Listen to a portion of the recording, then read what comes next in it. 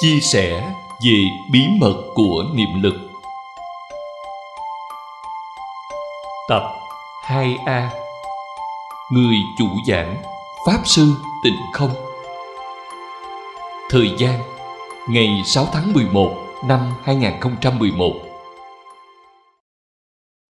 các vị pháp sư, các vị đồng tu, mời ngồi.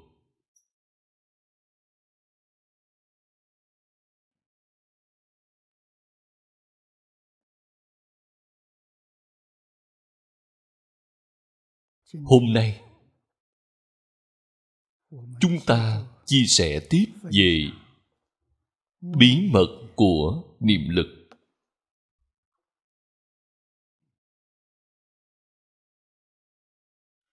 Chúng ta xem trang thứ nhất, có một đoạn. Chân thật, nhưng không cố định bất biến, mà lưu động hoặc biến động. Muốn dùng ý niệm ảnh hưởng vật chất. Ý niệm nhất định phải chuyên chú. Hơn nữa động cơ phải mạnh mẽ.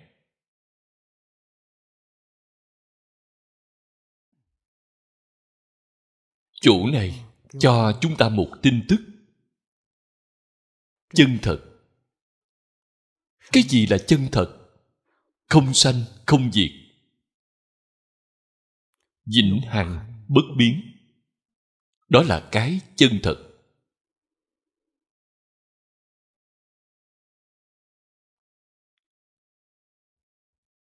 Khoa học gia nói với chúng ta, ngay cả hư không đều không phải chân thật.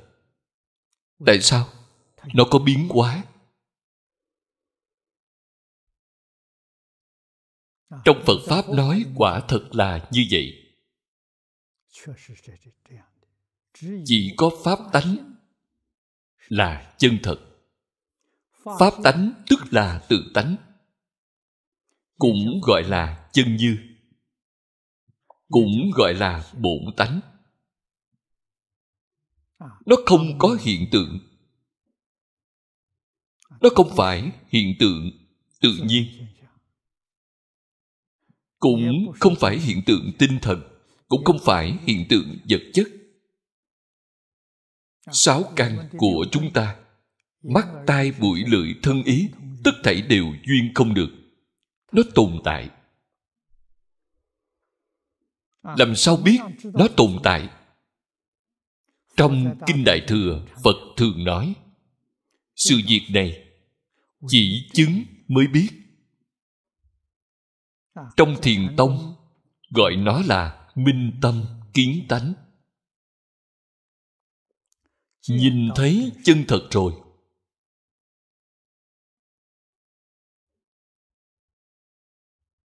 Người chưa kiến tánh, mãi mãi không nhìn thấy chân thật. Cái chân thật nói không rõ được. Chân thật không tưởng tượng được. Trong kinh phật thường dùng một câu nói tâm hành xứ diệt, ngôn ngữ đạo đoạn. Tâm hành tức là tư tưởng của chúng ta. Quý vị nghĩ không tới. Tư tưởng quả thật có cực hạn. Cái này đã vượt quá cực hạn. Quý vị nghĩ không tới. Ngôn ngữ nói không ra.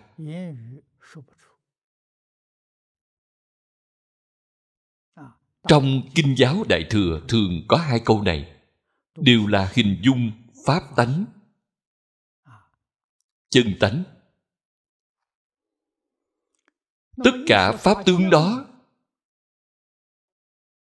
là tác dụng. Chân thật là bốn bể. Tác dụng có hiện tượng, tức là nó có ba loại hiện tượng này. Điều khoa học gia đã nói, phật pháp cũng nói ba loại hiện tượng nghiệp chướng chuyển tướng. Cảnh giới tướng của a lại gia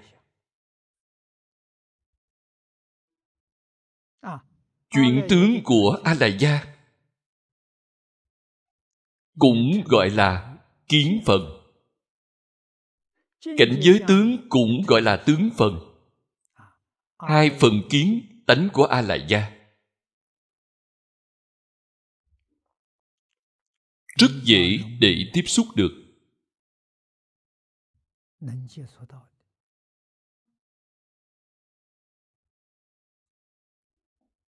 Bởi vì nó có tướng phận cho nên, khoa học và triết học có thể nghiên cứu nó. Nó là động. Hiện tượng chấn động, lưu động hoặc là biến động. Năng lượng này hết sức lớn. Chính là năng lượng của ý thức. Đây là ý niệm. Năng lượng của ý niệm hết sức lớn. Nếu như muốn dùng ý niệm ảnh hưởng vật chất, công năng đặc biệt có thể dùng ý niệm di chuyển vật chất ở trên bàn. Từ phía bàn này chuyển tới bàn phía bên kia. Chúng tôi đã từng xem qua màn biểu diễn này. Là có thật. Họ dùng phương pháp này. Làm sao mới có thể sản sinh hiệu quả này? Ý niệm phải hết sức chú trọng. Tức là nghĩ về nó, nghĩ về nó, nghĩ nó di động nó thực sự sẽ di động.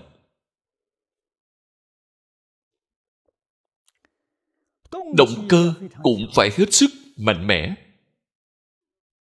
Thực sự có cách. Hồi trước, tôi ở đài trung học giáo với thầy lý. Thầy lý cũng là trung y rất giỏi thầy kể một câu chuyện cho chúng tôi nghe. Vào thời cổ đại, tôi không nhớ là triều đại nào, hình như là minh thanh. Có một vị y sĩ hết sức cao minh. Có một lần có bệnh nhân, bệnh rất nặng tới tìm ông. Sau khi ông chẩn đoán, đã nói với anh ta bệnh này của anh không sao hết. Đừng có sợ. Nếu như bệnh này của anh mọc ở trên đùi thì anh cũng sẽ mất mạng. Thì anh sống không nổi nữa. Người này nghe xong thì hết sức lo sợ. ngày ngày đều nghĩ trên đùi đừng bị bệnh nữa. Cái này không sao. Ngày ngày nghĩ như vậy. Khoảng một tháng sau phía trên hết rồi, bên trong thân thể hết rồi, thực sự chạy tới đùi luôn. Người ta nói anh sắp mất mạng rồi. Người khác liền nói với anh anh đi hỏi y sĩ coi sao. Ông ấy đã nói ở chỗ này, có lẽ ông ấy chữa được. Anh liền đi tìm y sĩ. Y sĩ nói với anh, chúc mừng anh. Vốn dĩ, anh bệnh ở bên trong, bệnh vào xương tủy rồi, thuốc không thấm vào được. Bây giờ đang chuyển biến dùng niệm lực chuyển biến khiến cho đó chuyển tới chỗ này rồi. Dùng thuốc được rồi, liền chữa khỏi cho anh ta. Niệm lực có thể khiến virus ở rất sâu trong nội tạng di giờ tới chỗ dễ chữa trị.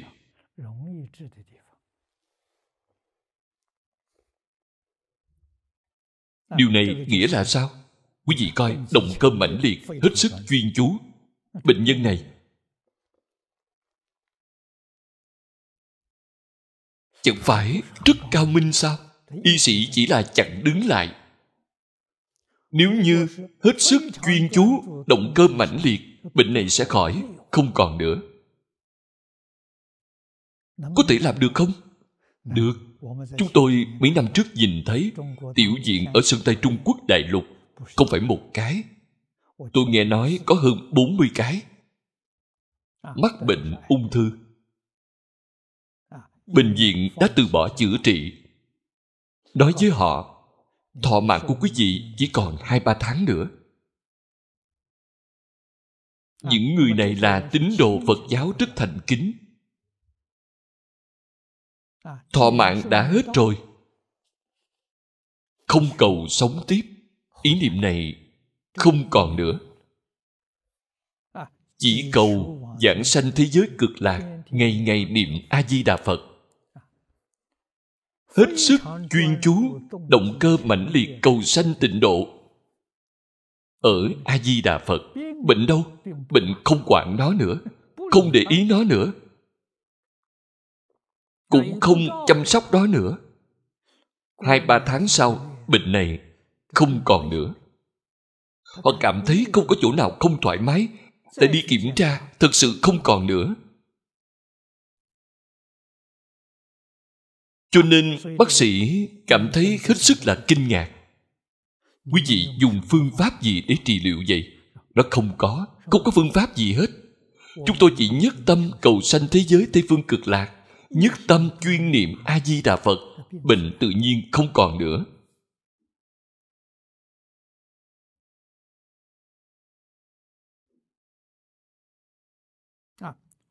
Ví dụ này là thật, không phải giả họ đem những băng đĩa này tặng cho tôi coi. Tôi coi xong rất hoan hỷ. Không ngờ khoa học bây giờ đã chứng thực được việc này. Là đạo lý gì đây? Năng lượng của ý thức thay đổi môi trường vật chất.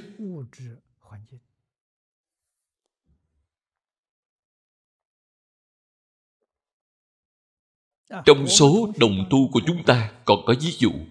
Việc này mọi người đều biết. Cư sĩ lưu tố vân ở đông bắc. Mười năm trước cô mắc bệnh hồng ban lan sang còn nghiêm trọng hơn cả ung thư. Bác sĩ nói với cô cô có thể tử vong bất kỳ lúc nào. Cô đã học phật cô không để tâm tới sanh tử. Cô cũng không sợ hãi, không sợ chết. Lúc đó vừa mới học phật, nghe kinh vô lượng thọ. Niệm a di đà phật hết sức hứng thú với việc này, cũng hết sức là chuyên chú, động cơ mãnh liệt.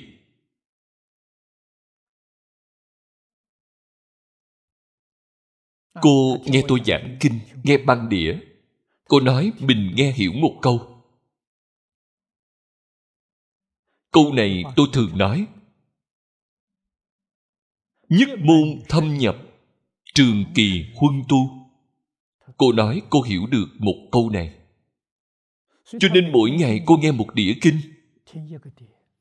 Đó là kinh vô lượng thọ.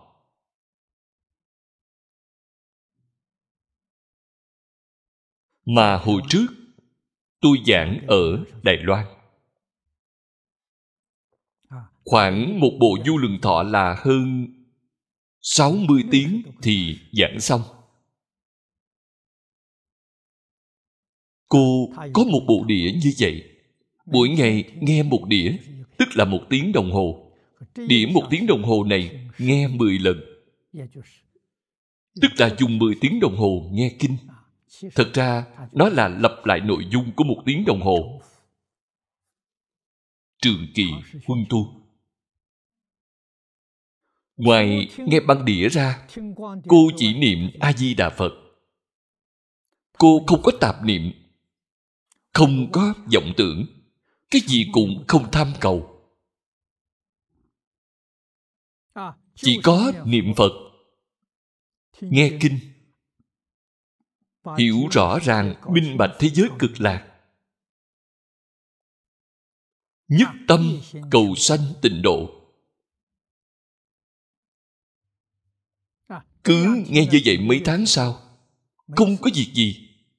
Vẫn sống rất tốt, đi kiểm tra lại thì không còn nữa. Hồng ban lan sang không còn nữa. Bác sĩ cảm thấy rất kỳ lạ. Hỏi cô cô dùng thuốc gì? Đã chữa hết rồi dùng phương pháp gì chữa hết rồi? Cô nói, không có. Tôi dùng niệm phật. Ngày ngày ở nhà nghe kinh niệm phật. Bác sĩ của bệnh viện tin theo. Kỳ tích như vậy. Tại sao tin cô? Người này cả đời chưa từng giọng ngữ. Người thật thà. Có gì nói nấy. Cả đời chưa hề giọng ngữ. Không đơn giản hiếm có.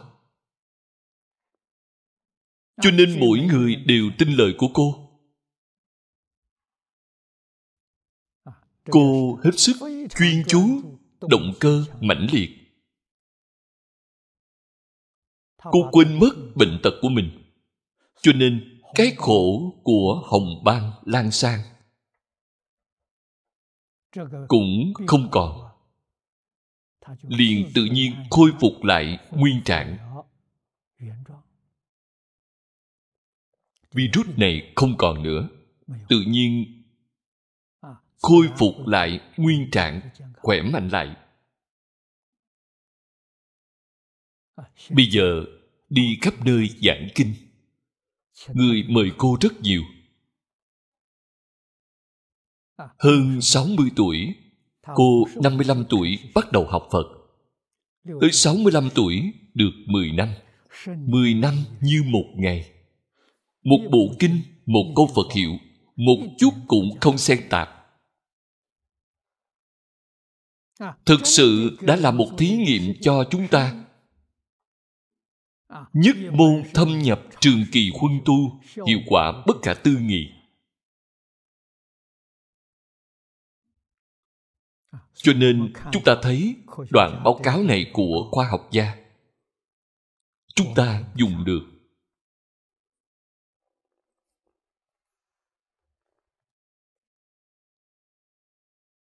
Cho nên nhất môn thâm nhập trường kỳ huân tu chỉ cần làm được không có một cái gì không thành tựu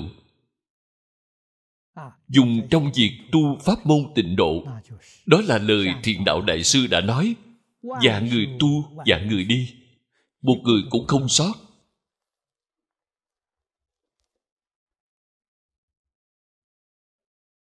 Lời phật nói trong kinh là thật. Không có giọng ngữ. Lời tổ sư đại đức đã nói cũng là thật.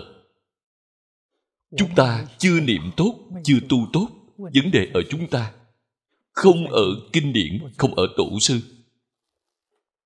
Bản thân của chúng ta chưa làm thật. Quý vị coi, người làm thật thì hiệu quả rất lớn.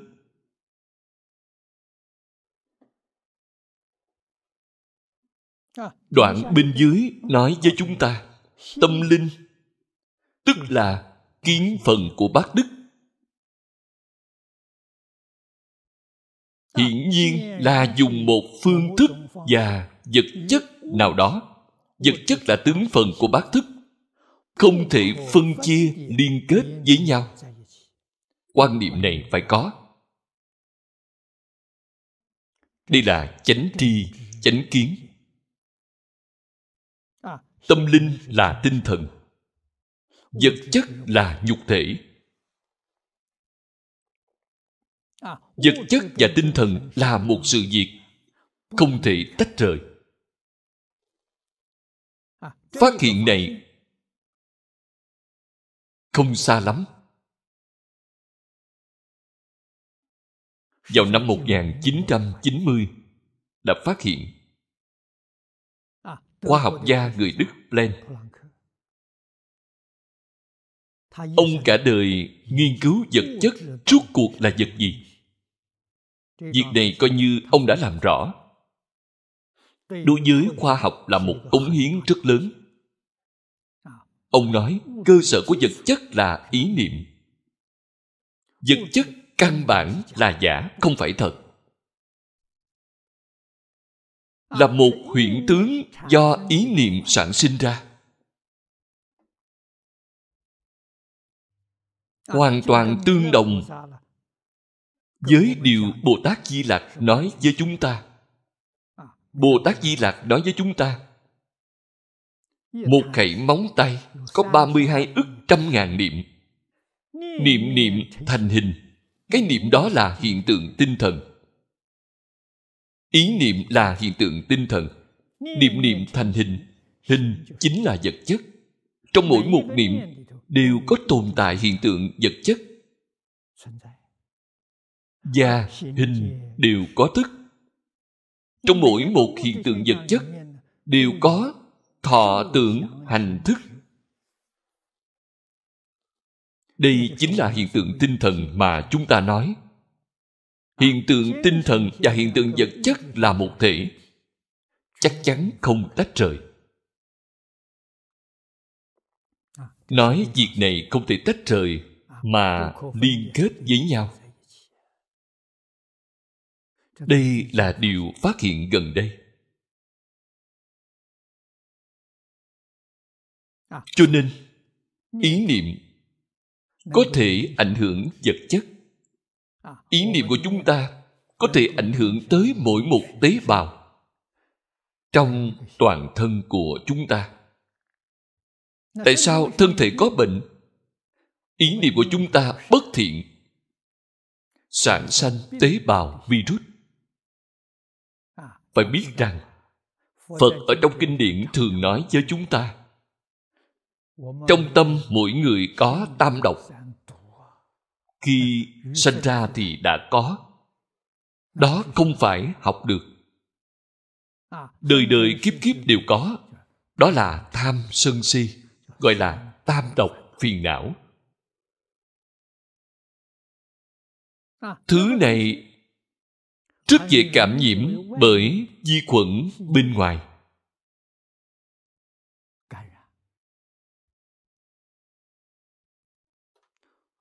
Nếu như chúng ta đoạn trừ tham sân si không tham không sân không si. Nói như bây giờ là khả năng miễn dịch của quý vị rất tốt. Tại sao? rất nhiều vi khuẩn quý vị sẽ không bị cảm nhiễm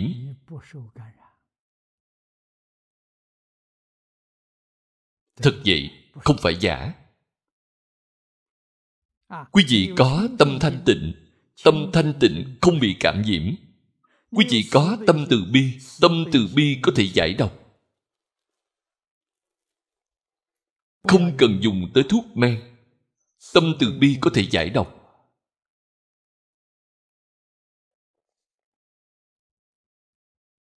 Chúng ta nhiều đời nhiều kiếp đã kết ác duyên với rất nhiều chúng sanh. Bản thân trái chủ này làm sao hóa giải? Từ bi có thể hóa giải. Thanh tịnh từ bi có thể hóa giải oan thân trái chủ túc thế hiện tiền. Nó có thể hóa giải. Từ bi phóng quang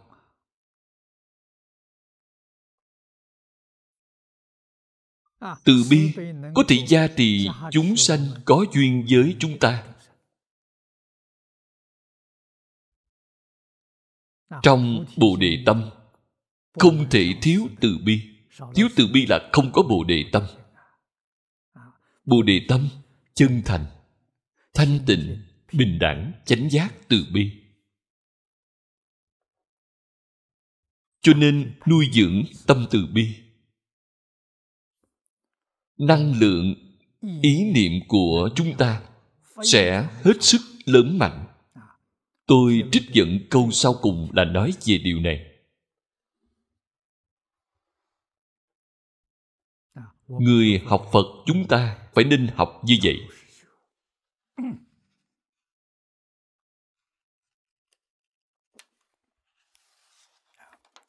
Chúng ta xem tiếp trang thứ hai.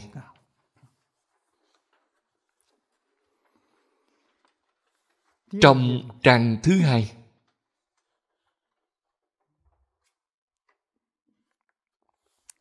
Chúng ta đều đọc lại nó, đọc một chút.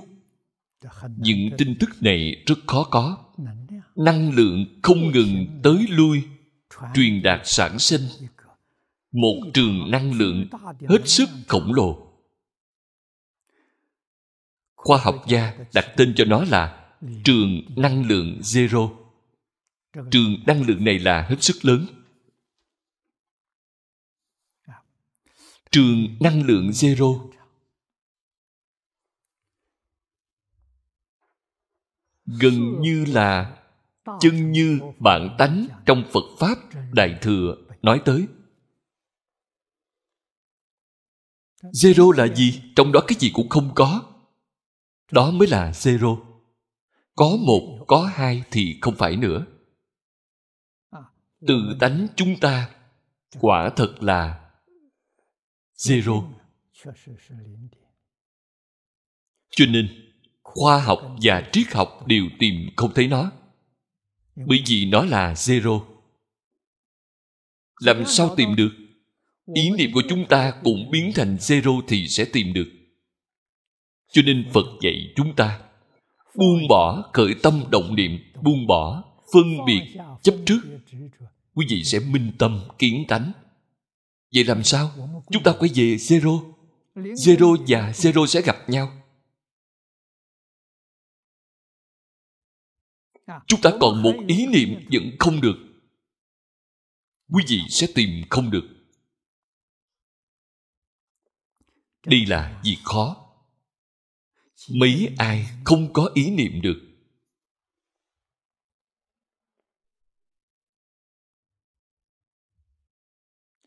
Chúng ta coi liễu phàm tứ huấn. Trong đó có một đoạn viết rằng, tiên sinh liễu phàm và thiền sư dân cốc, ở thiền đường núi thê hà, ngồi ba ngày ba đêm, không khởi một ý niệm.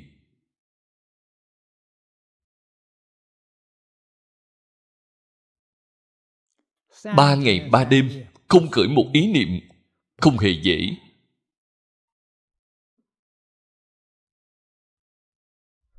Thiền sư dân cốc rất kinh ngạc. Đây không phải là công phu bình thường. Đây là định công khá sâu.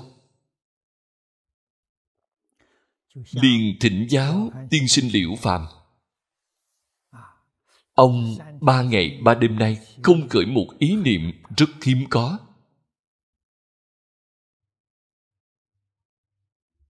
Thiền sư dân cốc có thể cả đời cũng chưa gặp. Tiên sinh liễu phàm nói, ông là người chân thật. Tôi không có công phu. Tại sao không có ý niệm? Số tôi đã được khổng tiên sinh coi xong rồi. Hai mươi năm nay khổng tiên sinh sắp đặt cuộc đời thời gian ông. Không sai biệt chút nào. Ông là người trí thức. Mỗi năm đi thi, lần nào thi đứng thứ mấy, mỗi lần đi đều hoàn toàn giống như lời tiên sinh nói.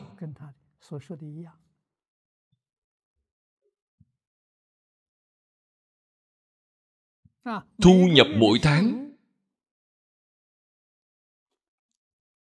cũng giống như trong số mạng sắp đặt. Không sai chút nào. Hai mươi năm nay ông nói đã là số mạng định sẵn. Tôi nghĩ cũng vô ích. Không nghĩ nữa. Cho nên cái đó của ông thuộc về vô tưởng định. Không phải thiền định. trong thiền định có cảnh giới ông không có cảnh giới ông là gì? Ông là vô minh. Cái gì cũng không nghĩ, cái gì cũng không biết. Đây là vô minh. Thiền sư dân cốc nghe xong phá lên cười. Ta tưởng ông là thánh nhân thì ra ông vẫn là phàm phu. Sao lại là phàm phu? Ông không phải thiền định. Trong định có huệ, có giác, nó có tác dụng. Cái này của ông không có tác dụng. Thuộc về vô tưởng định. Vô tưởng định, cái gì cũng không nghĩ, cái gì cũng không biết. Vô tưởng định muốn thực sự tu hành. Sanh tứ thiền, vô tưởng thiên. Vô tưởng thiên, phật pháp gọi nó là ngoại đạo thiên. Tức là họ mê hoặc điên đảo, không có trí huệ. Đây là sai lầm. Trong thiền định là có cảnh giới. Giống như người niệm phật niệm phật tam muội là thiền định. Trong niệm phật tam muội có thế giới cực lạc, có a di đà phật. Không phải, cái gì cũng không có. Quý vị ở trong thiền định, quý vị có thể thấy thế giới cực lạc. Quý vị có thể thấy a di đà phật. Quý vị có thể thấy y chánh trang nghiêm của thế giới cực lạc những thứ nhìn thấy nhất định giống như trong kinh vô lượng thọ nói là không sai. Đại sư huệ diễn, tổ sư đời thứ nhất tông tịnh độ thời đông tấn của chúng ta. Ngài ở lô sơn, xây một niệm phật đường. Niệm phật đường đông lâm, tức là chùa đông lâm bây giờ có 123 đồng tham đạo hữu. Mọi người đều thích niệm phật sống chung với nhau tập trung lại cùng niệm phật. Phát nguyện ở nơi đó giảng sanh. Lấy hộ khê làm biên giới họ không xuống núi. 123 người tất thảy đều giảng sanh. Ghê gớm chưa? Rất là ghê gớm khi diễn công giảng sanh, đã nói với các đồng hữu của mình. Ngài nói thế giới cực lạc, ngài đã thấy ba lần. Nhìn thấy ở trong định, nhìn thấy ba lần. Người ta hỏi ngài, thế giới cực lạc nhìn ra sao? Hoàn toàn tương đồng như trong kinh vô lượng thọ nói. Hồi đó tịnh độ tam kinh. Kinh di đà. Kinh quán vô lượng thọ phật đều chưa dịch ra. Tu tịnh độ chỉ có một bộ kinh vô lượng thọ, đây là kinh phiên dịch sớm nhất. Cho nên họ chỉ y theo bộ kinh này. Chuyên tu. Nhất môn thâm nhập trường kỳ huân tu ba lần thấy thế giới cực lạc. Hôm đó, ngài lại thấy nữa. Đây là lần thứ tư. Nói với mọi người, tôi phải giảng sanh rồi. Khi giảng sanh, phật tới nghinh tiếp ngài. Ngài nói với mọi người, nhìn thấy phật tới nghinh tiếp. Hơn nữa, còn nhìn thấy bên cạnh phật có mấy người nữa là những người ở niệm phật đường giảng sanh sớm hơn ngài. Cùng a di đà phật tới trước ngài về thế giới cực lạc. Đây không phải giả. Đây là thật.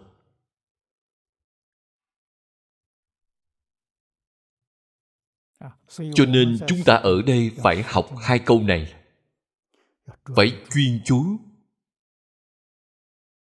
hết sức chuyên chú.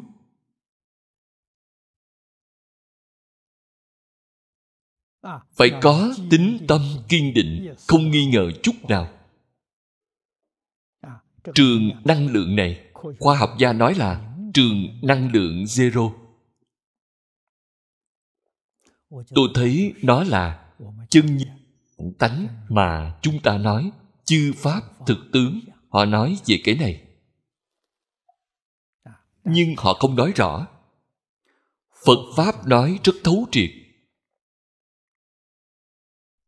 Đại sư huệ năng minh tâm kiến tánh liền nhìn thấy được. Bắt buộc tâm của chính mình, cái gì cũng không có, đạt tới zero. Zero là chân tâm, chân và chân tương ứng thì sẽ nhìn thấy. Có một ý niệm thì gọi là vọng tâm. Vọng tâm không nhìn thấy chân tâm vọng tâm có thể nhìn thấy a lại gia không nhìn thấy chân tâm. Cho nên vọng tâm chuyên chú tới cùng cực vẫn là vọng tâm.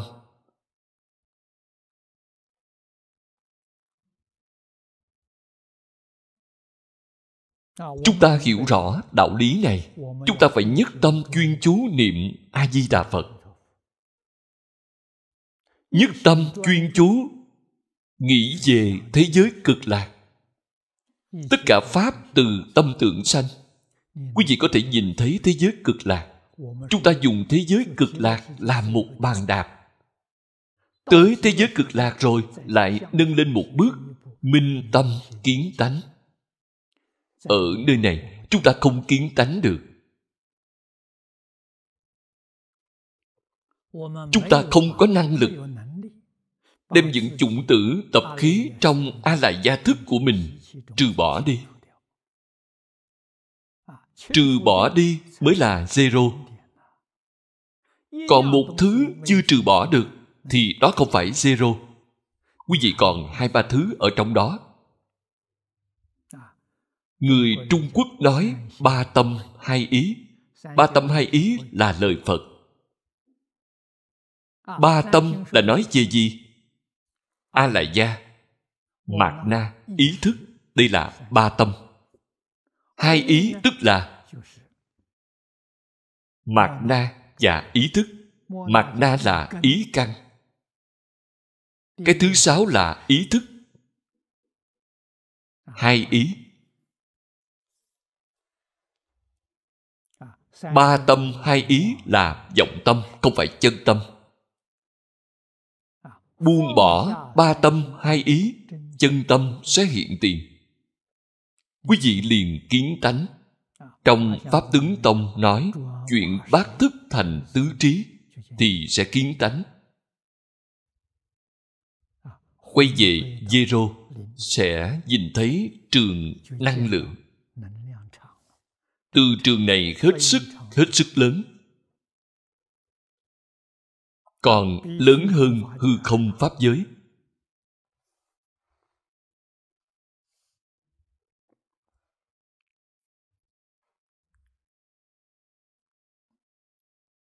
Đoạn thứ hai, chúng ta đọc một chút. Năng lượng của những hạt cơ bản này từ phát ra nhỏ tới nỗi khó tưởng tượng, không tưởng tượng được.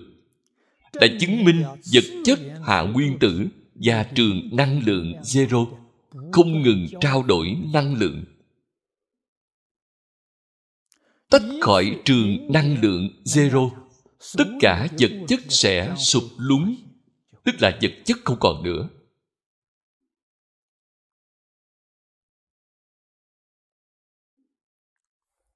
Trường năng lượng này, tức là bản thể dạng hữu vũ trụ mà trong triết học có nói chính là chân như tự tánh mà phật pháp đại thừa có nói. Nếu như không có nó, cái gì cũng không có. Tất cả các hiện tượng đều không còn. Tất cả hiện tượng là theo nó mà sanh khởi. Cho nên nó có thể sanh hiện.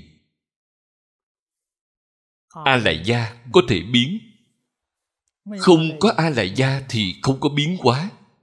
Có a lại gia vọng tâm thiện biến. Tâm đang biến vật chất bên ngoài biến theo. Là đạo lý như vậy. Trong vọng tận hoàng nguyên quán của quốc sư hiền thủ thì tam biến. Đã nói với chúng ta rất rõ ràng. Thứ nhất ba loại châu biến này thứ nhất là châu biến pháp giới. Tức là ở đây nói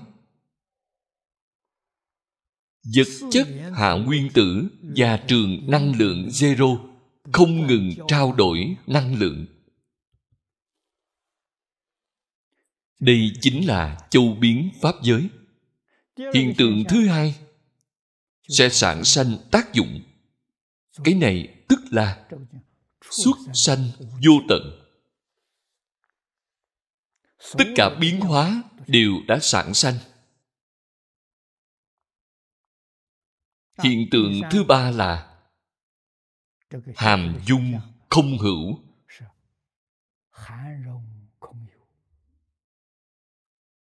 Đây là nói về lượng của nó, vô lượng. Không phải hữu lượng hàm là bao hàm bao hàm hư không. Dung là dung nạp dung nạp dạng hữu.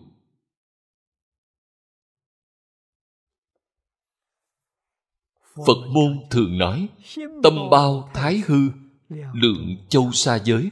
Đây là chân tướng sự thật. Tâm lượng của chúng ta hôm nay biến thành nhỏ như vậy. Hai người còn không bao dung được còn phải đối lập. Đây là sai lầm. Chắc chắn là sai lầm. Cho nên tâm lượng mỗi người đều lớn như pháp giới hư không, thậm chí còn lớn hơn. Lượng lớn, phước lớn. Người tâm lượng nhỏ thì không có phước báo. Cho nên phải bao dung tất cả mọi người. Phải bao dung tất cả pháp. Đừng phân biệt đừng so đo. Khôi phục tâm lượng vốn có của quý vị. Tâm lượng vốn có của quý vị giống như phật vậy. Tâm lượng của phật là có thể trùm hư không tâm bao thái hư, lượng châu xa giới, đây là tâm lượng phật. Tâm lượng của bản thân chúng ta giống giới của phật. Cho nên ngày nay, chúng ta biến thành tâm lượng nhỏ hẹp. Cái gì cũng đi so đo tính toán, sai lầm rồi. So đo tính toán sẽ biến thành lục đạo luân hồi. Sẽ biến thành tam ác đạo. Trong pháp giới tứ thánh thì không so đo nữa. Tâm lượng rộng mở. Đây là điều mà chúng ta nhất định phải học tập. Tất cả vật chất, vũ trụ đều tương tác với trường năng lượng zero. Ở đây chứng tỏ pháp tướng vĩnh viễn không thể nào tách khỏi pháp tánh. Pháp tánh năng sanh, năng hiện. Pháp tướng là sở sanh, sở hiện. Pháp tướng sở sanh, sở hiện, khoa học bây giờ gọi là hiện tượng. Hiện tượng có ba loại lớn. Hiện tượng tự nhiên. Hiện tượng tâm lý, hiện tượng vật lý. Hiện tượng tâm lý chính là ý niệm.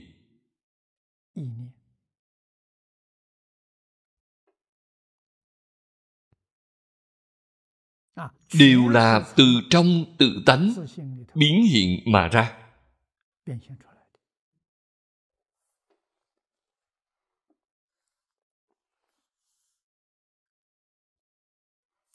Cấu tạo cơ thể người và anten có một số chỗ tương đồng. Là không nhìn thấy máy tiếp nhận tin tức. Hoặc là người phát tín hiệu.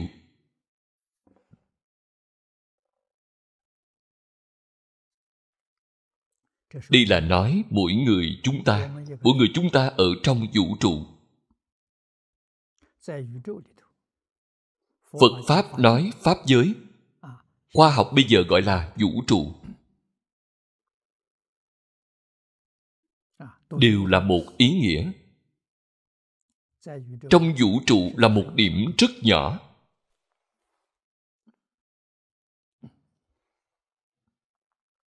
Điểm này mãi mãi tồn tại.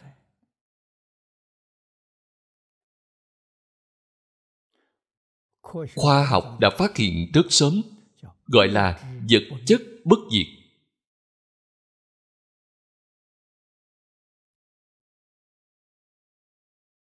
Vật chất bất diệt, chúng ta sẽ có thể cảm nhận được ý nghĩa thứ hai, ý nghĩa sâu hơn một tầng. Ý niệm chúng ta bất diệt.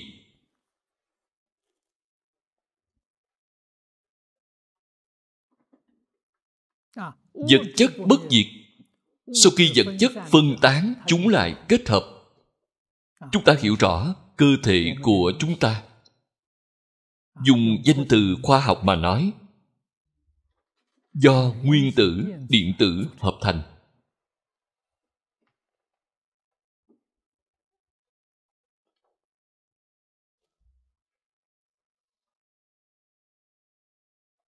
khi nguyên tử điện tử rời khỏi, thân thể này không còn nữa, giống như ngôi nhà này.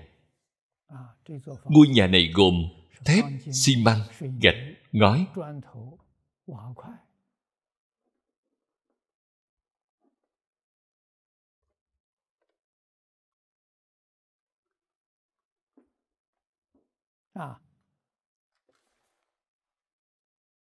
Theo mô hình lắp ghép lại mà ra, ngôi nhà sẽ xuất hiện. Nếu như tháo đó ra thì sẽ thành một đống vật liệu xây dựng. Cho nên ngôi nhà có sanh diệt không? Không có sanh diệt. Hợp lại là ngôi nhà, tháo ra thì biến thành vật liệu. Thực thể con người cũng như vậy. Những nguyên tử, điện tử cực kỳ di tế này không diệt nó sẽ chạy tới nơi khác rồi lại hợp thành, lại hợp thành thân thể. Cho nên, thân thể vật chất này thực sự không phải chính mình.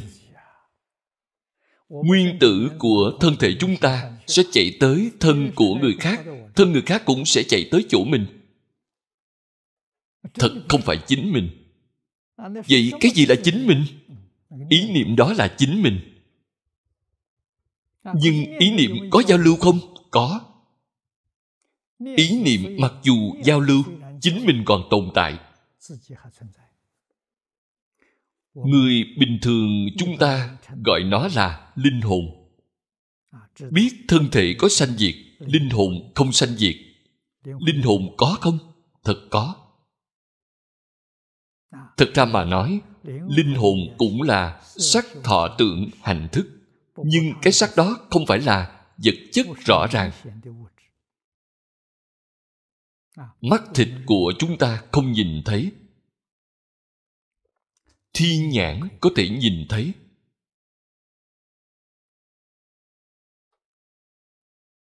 Vậy phật bồ tát càng cao minh. Phật bồ tát có pháp nhãn. Có phật nhãn.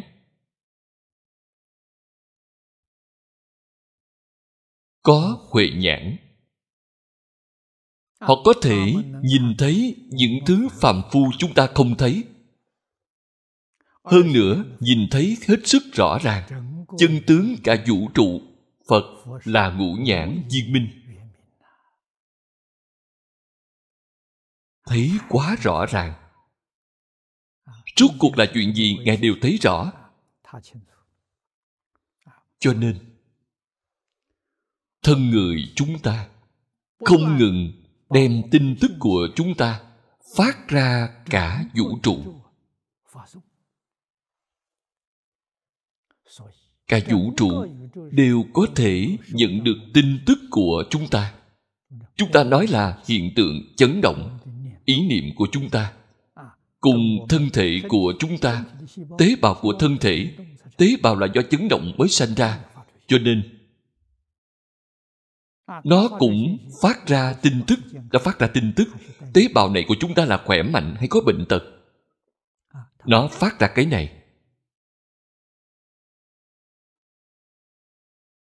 Tin tức của sự khỏe mạnh phát ra thì tốt. Có thể giúp vũ trụ có thể giúp tinh cầu khỏe mạnh. Bệnh tật thì không tốt. Phát ra thành cái gì? Tức là vi khuẩn phát ra bên ngoài. Giống như ôn thần vậy. Đem ôn dịch, virus phóng ra bên ngoài. Nếu như chúng ta gặp phải ý niệm bất thiện thì làm sao? Thì rất đáng sợ, đây là phiến diện. Thật vậy, bao nhiêu tin tức như vậy phát cho chúng ta chúng ta đều nhận được nhận được thì sao?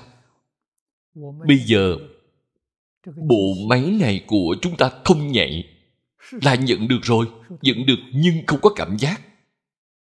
Bộ máy này không nhạy. Tại sao lại không nhạy? Bởi vì chúng ta có phiền não có tập khí. Cũng có nghĩa là có khởi tâm động niệm có phân biệt chấp trước. Bộ máy này không nhạy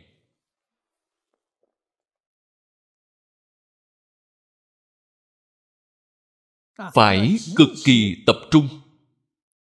hơn nữa phải không ngừng phát ra chúng ta mới cảm nhận được. Lúc bình thường chúng ta không cách nào cảm nhận được. Nhưng phật bồ tát thì cực kỳ nhạy bén. Những tin tức cực kỳ di tế các ngài đều biết được. Cho nên chư phật như lai pháp thân bồ tát thực sự là không gì không biết không gì không thể. Không gì không thể tức là các ngài có năng lực giúp đỡ chúng ta. Khi chúng ta cần tới thì liền có cảm các ngài sẽ có ứng. Cảm ứng đạo giao bất khả tư nghị.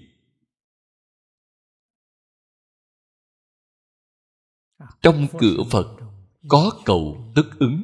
Câu nói này rất nhiều đồng tu đều quen thuộc. Là thật không phải giả. Chúng ta muốn cầu phật bồ tát ý niệm phải đơn thuần. Ý niệm phải tập trung.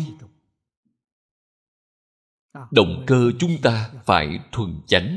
Thuần chánh là sao? Không gì danh văn lợi dưỡng. Không làm hại tất cả chúng sanh. À. ý niệm này sẽ thuần chánh. Như lý, như pháp. Đoan chánh tâm niệm.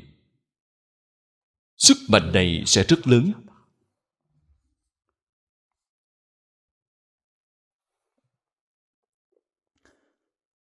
Cho nên, chúng ta khởi tâm động niệm, phải có trách nhiệm với chính mình. Hơn nữa biết rằng sẽ ảnh hưởng tới vũ trụ. Có thể không ảnh hưởng trước mắt chúng ta. Chúng ta các bạn không nhìn thấy có thể là ở một tinh cầu khác. Điều này chắc chắn có thể. Chúng ta đừng để ý niệm bất thiện của mình mà ảnh hưởng tới người khác. Phải dùng ý niệm thiện. Ý niệm thiện nhất là niệm a di đà phật trong kinh vô lượng thọ nói hết sức rõ ràng, hết sức thấu triệt.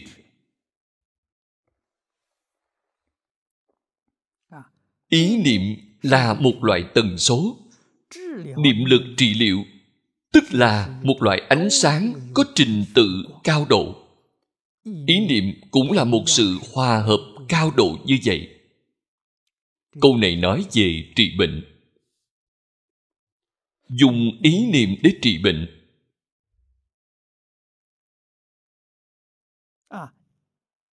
ý niệm này là ý niệm thiện. Không phải ý niệm tham sân si mạng nghi. Không phải ý niệm oán hận não nộ phiền. Cũng không phải ý niệm sát đạo dâm vọng.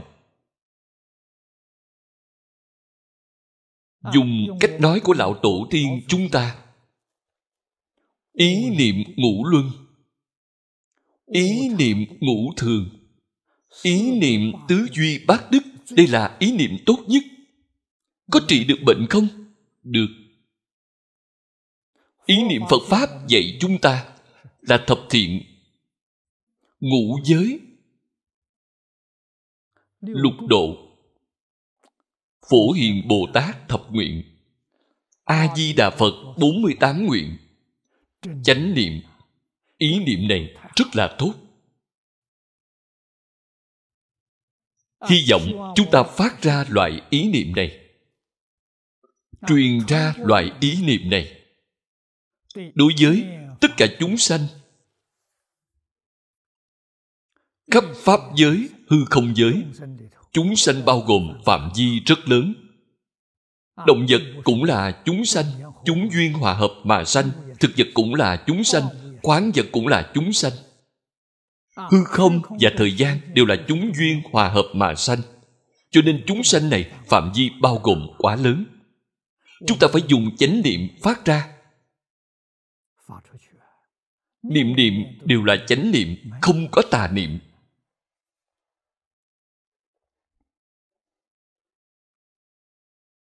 Trong kinh phật thường nói ngày nay khoa học chứng minh cho chúng ta việc này là thật không phải giả một thiện niệm của chúng ta tương ứng với thiện niệm của khắp pháp giới, hư không giới, đều không tương ứng với tất cả ý niệm bất thiện. Như vậy, có thể thay đổi sức khỏe của thân tâm chúng ta. Có thể cải thiện sự tốt đẹp của môi trường cư trú chúng ta. Đây gọi là phước nhân cư, phước địa phước địa, phước nhân cư người có phước tâm tốt hành tốt. Người này là tâm tốt. Chúng ta nói bốn điều tốt.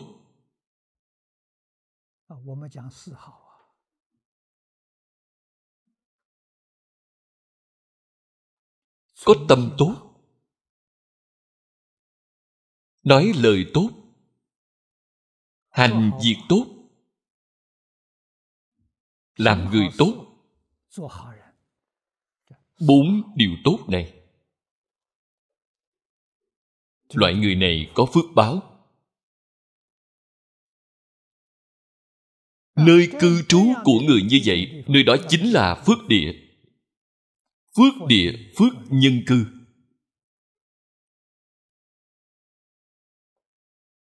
Chính mình có phước cũng có thể ảnh hưởng người khác. Người xung quanh đều được nhờ. Tại sao? họ cũng sống trong phước địa. Hậu đức tại vật. Trong kinh dịch nói vậy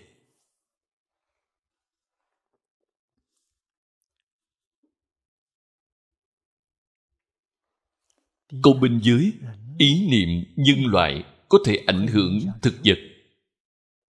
Thể sinh vật đọc hiểu được tâm tư, ý niệm của con người. Đồng thời sẽ có phản ứng.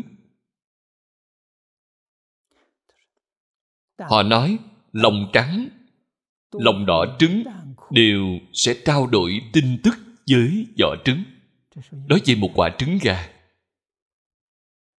cho dù thể sinh vật bị cắt thành từng miếng, sự câu thông vẫn tiếp tục tiến hành.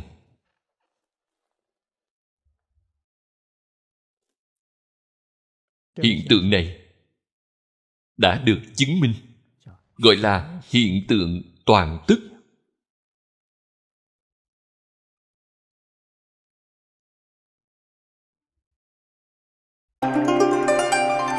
Ban biên tập, học làm người tốt. Do nhóm cả nhà học làm người tốt, thành kính cúng dường.